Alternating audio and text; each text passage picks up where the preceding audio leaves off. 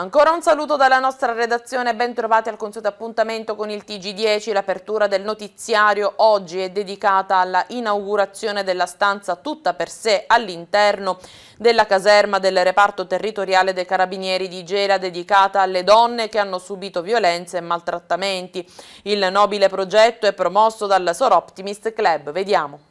Taglio del nastro questa mattina per la stanza tutta per sé presso la caserma di Imme, reparto territoriale dei carabinieri di Gela guidato dal comandante Valerio Marra. Si tratta di un progetto promosso in ambito nazionale dal Sor Optimist International e fortemente voluto dalla sua presidente nazionale Leila Picco che avendo sottoscritto un protocollo di intesa con il comando generale dell'arma dei carabinieri ha promosso la nascita di numerose stanze e molte caserme dell'arma. A Gela hanno lavorato alacremente le socie del locale Sor Optimist Club presieduto da Maria Grazia Falconeri affinché anche nella città del Golfo potesse concretizzarsi il progetto che nasce dall'esigenza di creare un ambiente idoneo e accogliente in grado di garantire la massima riservatezza e la giusta tranquillità a donne traumatizzate dalle violenze subite, vittime di maltrattamenti morali e fisici. Denunciare le violenze subite per molte donne spesso rappresenta un vero atto di coraggio ed essere ascoltate da personale sensibile in un ambiente idoneo può restituire fiducia, speranza e dignità ad esseri umani che ne sono stati privati. Il progetto della stanza e il design interno è stato curato dalla socia del Sor Optimist Club di Gela, l'architetto Marilena Rampanti. Si tratta di un progetto nazionale eh, tra l'Arma dei Carabinieri e Sor Optimist Italia che mira a um, ricreare all'interno delle nostre caserme degli ambienti eh, che possono favorire ehm, l'aumento di confidenza e l'abbassamento diciamo, della tensione da parte di eh, persone sottoposte a particolari tipi di violenza che particolarmente impattanti sulla psicologia della, del singolo, della persona, in particolare donne e, e minori.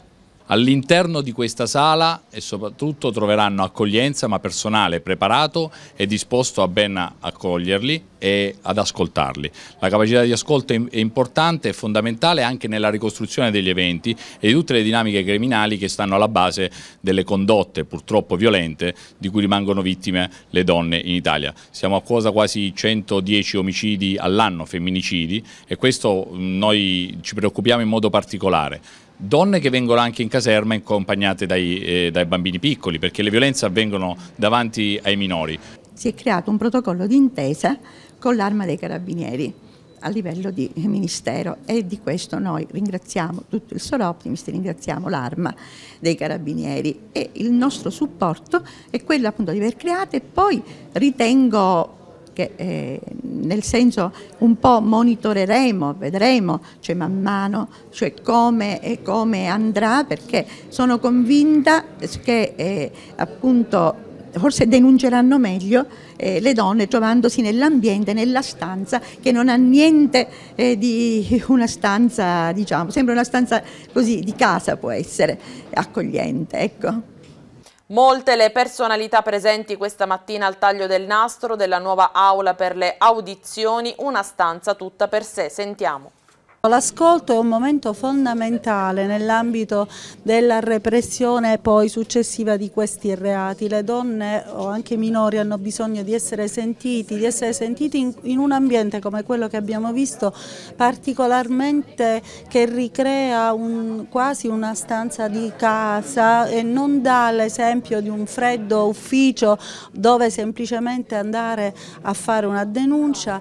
Mi sembra un aspetto di grande civiltà, di grande grande avanzamento proprio per aiutare e supportare tutti coloro che subiscono violenza e che devono assolutamente ribellarsi. Noi tra l'altro come prefettura ora a breve stipuleremo anche un protocollo con i centri antiviolenza e con l'associazionismo eh, di Caltanissetta proprio per favorire questo sistema di denuncia, per aiutare, le donne vanno aiutate, i minori vanno aiutati, la violenza va sconfitta senz'altro. Lo Stato è assolutamente presente attraverso queste iniziative, non solo attraverso le norme, e tante ce ne sono in questi ultimi anni in favore e a tutela della libertà delle donne, quindi bisogna eh, sicuramente eh, ricordare con plauso queste iniziative legislative, ma dall'altro lato cominciano adesso anche a realizzarsi gli strumenti per eh, far eh, entrare nella cultura e nella,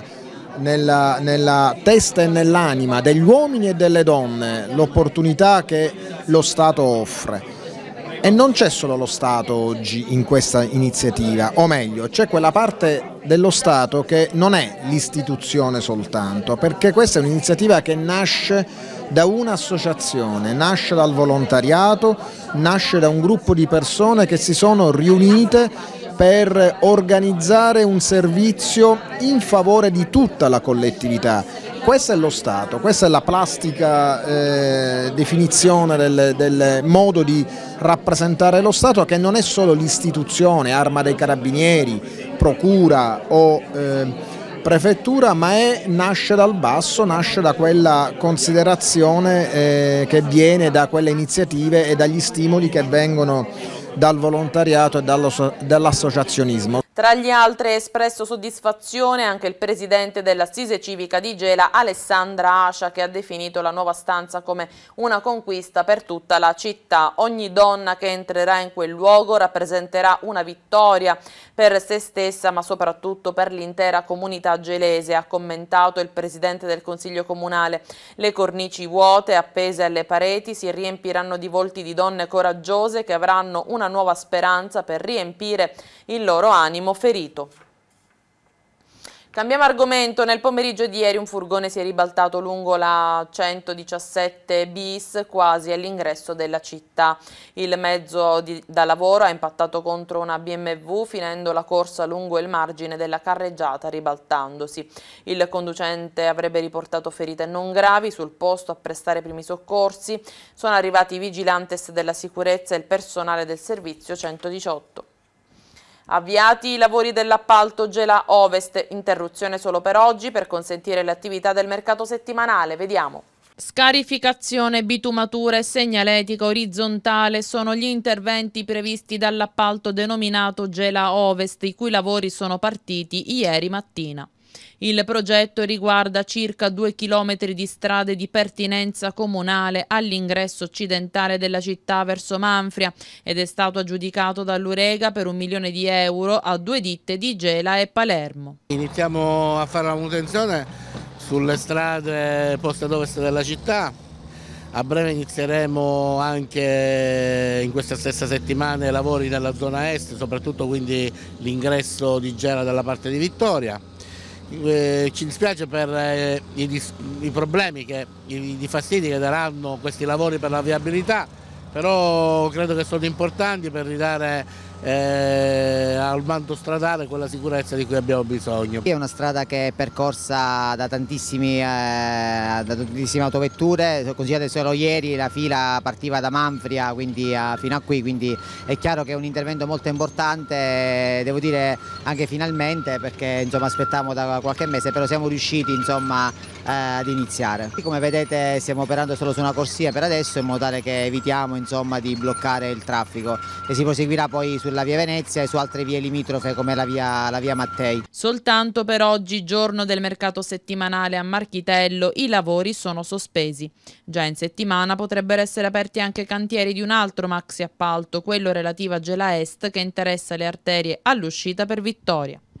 L'amministrazione comunale in concomitanza con la stagione estiva ha concordato con Pintau di Autolinee l'istituzione di tre corse eh, di bus per eh, collegare il centro urbano a Manfria ogni domenica e nei festivi, oltre al servizio già attivo periferiali. Da eh, Gela verso Manfria le partenze sono previste dalla stazione centrale che è capolinea alle 8, alle 13.30 e alle 18.30.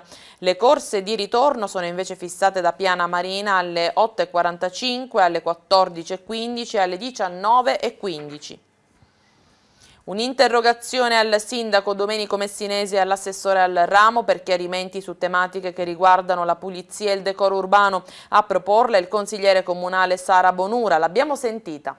Consigliere Bonura, lei ha presentato una interrogazione su alcune tematiche che stanno molto a cuore alla cittadinanza, quali la pulizia, il lavaggio e la sanificazione delle strade, dei marciapiedi, dei parchi, delle aree verdi e delle aree condominiali. Quali sono i punti principali che emergono in questo documento che ha depositato?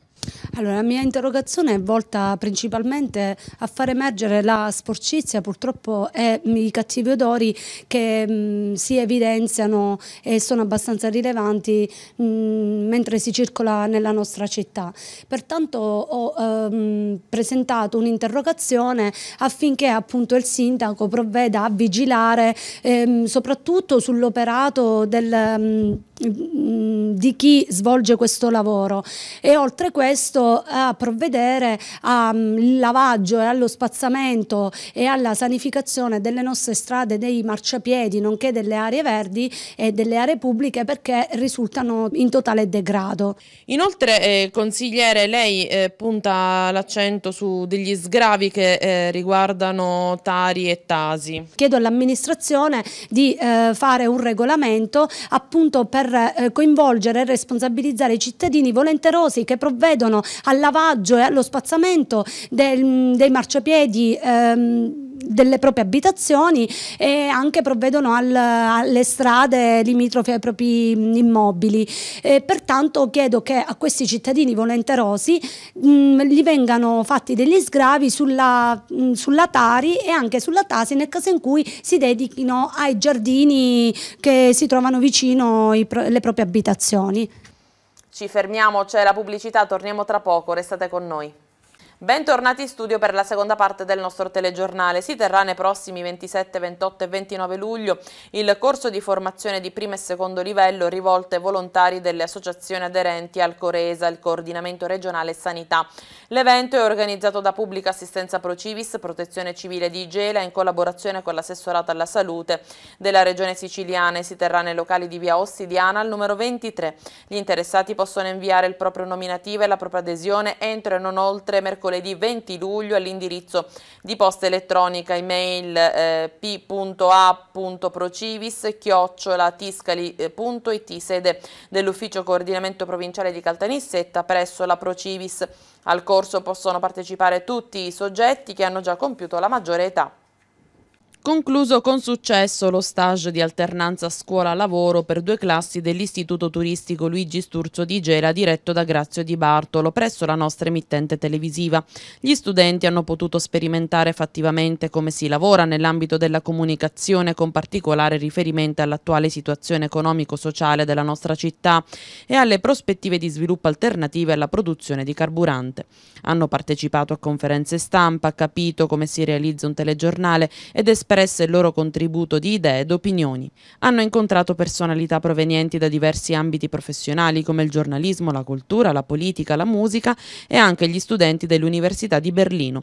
L'attività di alternanza scuola-lavoro è coordinata dalla professoressa Clelia Muzzicato. Ricorderemo questi due incontri che abbiamo avuto appunto con voi che sono stati abbastanza interessanti perché comunque ci hanno parlato di cose che ci riguardano, appunto su proposte per incentivare il turismo nel nostro territorio, che personalmente questa è una cosa che mi interessa perché appunto il turismo è nelle nostre mani, noi dobbiamo cercare di incentivare il turismo il più possibile. Quali potrebbero essere le prospettive di sviluppo per questa città? Il fatto di, comunque di incentivare appunto il turismo, cercare di ehm, appunto fare delle, delle novità per eh, attirare il turismo nella nostra città, visto che comunque non abbiamo molta presenza turistica, attraverso magari social network, cercare di, um, di creare qualche evento, eh, magari nelle piazze. Questa, questa, alternanza ci ha fatto capire, eh, i, punti, ci ha fatto capire appunto, eh, i punti più importanti di, di, Gela e sì, saremo in grado comunque di seguire e indirizzare un gruppo nella nostra città. Da quest'anno nelle scuole per le terze classi c'è un'opportunità in più, l'alternanza scuola-lavoro, che tipo di progetti state portando avanti? Allora noi per il turistico abbiamo portato avanti un progetto in eh, diciamo, insieme al, eh, ai dirigenti del museo che ci ha fatto comprendere l'importanza della nostra città, soprattutto per quanto riguarda quelli che sono i nostri reperti storici e anche la bellezza paesaggistica del nostro territorio e come noi potremmo proporre in futuro il nostro territorio a, ad altri, eh, possiamo dire non solo in Italia ma anche nel mondo. L'associazione sportiva dilettantistica Mogela organizza il primo Memorial Emanuele Giuseppe Alabiso. La competizione si terrà presso la struttura sportiva di Viale Enrico Mattei. Il torneo è organizzato appunto dalla Mogela, società che è stata presieduta dal dottore Giuseppe Alabiso fino alla tragica scomparsa del novembre scorso e in cui è cresciuto il eh, figlio Emanuele che ha militato nelle categorie della scuola calcio e del eh, settore giovanile. Il Memorial si conclude concluderà ad agosto. Anche quest'anno la piazza Garibaldi è stata la cornice del rally, città di Caltanissetta, quarta prova del campionato regionale Zona Sicilia e Trofeo Rally Sicilia. Un'edizione, la quattordicesima per l'esattezza, che ha visto i piloti gareggiare durante le ore notturne. Proprio in centro il pubblico di Nissenia non solo ha potuto conoscere le vetture insieme ai rispettivi piloti, veri protagonisti di una gara vincente, che ha visto trionfare ancora una volta gli agrigentini Maurizio Mirabile e Michele Calderone su Skoda Fabia Super 2 2000. Già, già, la prima è stata un'emozione meravigliosa, la seconda qualcosa, qualcosa di irripetibile. Non, non ce l'aspettavamo quest'anno veramente perché eh, non, c'erano tantissimi iscritti, però eh, i nisseni vanno sempre forte quindi per noi, per noi è stata un'emozione veramente irripetibile, è qualcosa di meraviglioso. Sfiora la vittoria per un imprevisto il duo nisseno composto da Roberto Lombardo e Alessio Spiteri su Renault Clio Williams che li ha portati a salire sul podio con un secondo posto, ma primi di classe A7 vincendo 5 prove su 9. È stata una gara molto complicata, abbiamo vinto quasi tutte le prove speciali, però purtroppo per una foratura ci è costato il ritiro della prova speciale, quindi siamo usciti secondo assoluti nel rally. Terzo posto invece per il mussomelese Gaspare Corbetto e il nisseno Salvatore Cancemi su Peugeot 106. Ma è stata una gara bellissima, rivali molto forti e non ci aspettavamo questo bellissimo risultato. È finita bene, siamo andati in verifica, tutto ok. E ringrazio tutte le persone che erano in strada a tifare per noi. Rientrano nella top 10 al quarto posto la coppia di Franco Spanò su Renault Clio, quinto posto per Pilato Cusimano con Peugeot 106 Max, sesta la Peugeot 106 Kit di Fonti Giglio, settimo classificato il duo Burrogano, ottavo il duo Gioè, tutte e due le coppie su Renault Clio, nono posto per la Fiat Punto di Amendolia e Villeri e decimo per la Peugeot 106 di Guttilla Arena. Tra le auto storiche si sono distinte nel terzo raggruppamento classe GTS oltre 2000 la Porsche 911 SC del Corleonese Varese, Antonio Di Lorenzo e Francesco Cardella. Il terzo raggruppamento GTS 1006 viene firmato dagli agrigentini Red Devil e Sergio Raccuia su Fiat X19. Per il quarto raggruppamento Natal Mirabile, Giuseppe Crimi su Fiat Ritmo Abarth 130. Per il secondo raggruppamento il duo Gianfilippo Quintino e Salvatore Vinci Guerra con Alfa Romeo GTV e infine per il primo raggruppamento la Fiat 850 Special con Francesco Ferreri e Francesco Sarrica. La Divina Commediola è lo spettacolo di Giobbe Covatta che andrà in scena sabato 30 luglio prossimo alle 21.30 al Teatro Antidoto di Gela. La manifestazione rientra nel cartellone estivo dell'Arena all'aperto e il biglietto costerà 10 euro. Con lo spettacolo è tutto anche per questa edizione del nostro telegiornale. Grazie a tutti voi per aver scelto anche oggi la nostra informazione. Arrivederci a domani.